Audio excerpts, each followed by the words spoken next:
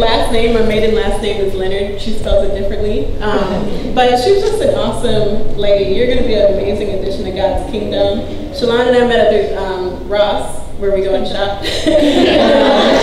she just, she has a heart for God. I overheard her speaking, and she was speaking to a friend over the phone, and she quoted a scripture that was on a shirt. And um, I used it as an opportunity to just talk to her, and she was just had such an open heart you know, and shortly after that, she studied the Bible. And something about Chalon, and she's a hard-working woman. She's a professional woman, has a high position at her job. She's a, a mom, um, takes care of a two-year-old Dorian. She's also a student too, so she has a lot on her plate, but she still made time for her walk with God. It Amen a week and a half.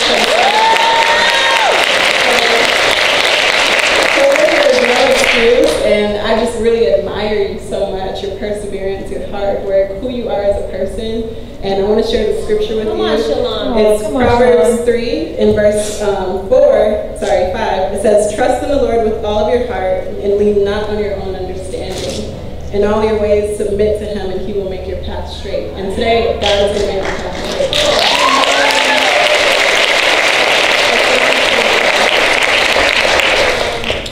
Um, hello everybody. Come on, Chalon. Come on, Chalon.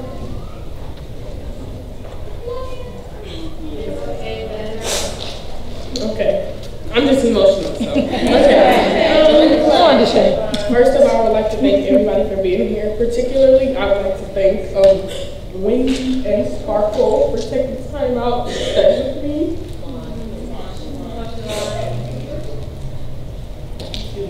for taking time out to study with me and um, everyone here because everyone here is basically my support team. They have encouraged me. They have continued to pray for me. They have met with me. They have stopped what they were doing just to see about me. And like, that's completely awesome.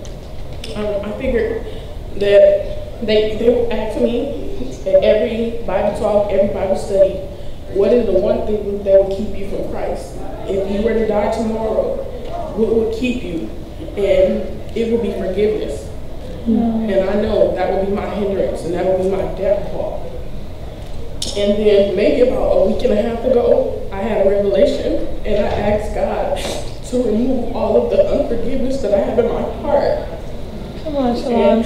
at that very moment, I was so relieved and I just was able to let so much stuff go. Mm-hmm. I, I never ever experienced that because I'm the type of person in my head all the time. I'm always thinking, I'm always thinking. And once I forgive somebody, I go back on my word and be mad again. And I know for a fact I can share you a scripture with everyone. And it is, um, I believe this is Matthew 6 14. For if you forgive men their trespasses, for your heavenly Father will also forgive you. And that scripture stuck out with me because how would I ever, ever expect Jesus Christ to forgive me of all that I have sinned if I don't forgive others? Mm-hmm. And I would just like to thank everybody, and I'm ready.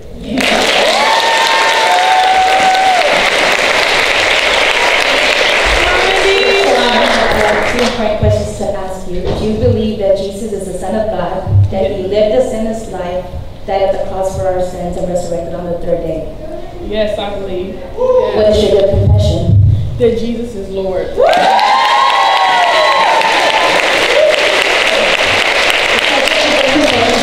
You're going to be baptized today in the name of the Father, the Son, and the Holy Spirit. All your sins are going to be washed away and forgiven. You will receive the gift of the Holy Spirit, and you're going to be added to God's kingdom.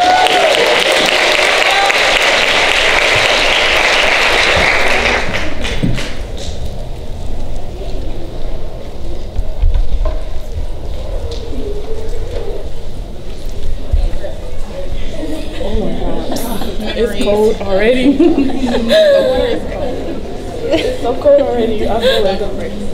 Come on, your watch out. Oh, yeah. Elliot, you gonna leave me an echo phone? Yeah. Okay. Go, oh,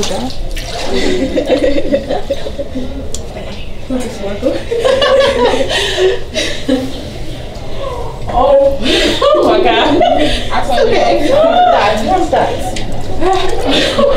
Very quick. It'll be over. Oh my god. So cold. All right, so what you're gonna do is sit down, you're gonna hold your nose, and then we're gonna push you back. So you wanna sit down on these. okay? Oh my God, it's so cool.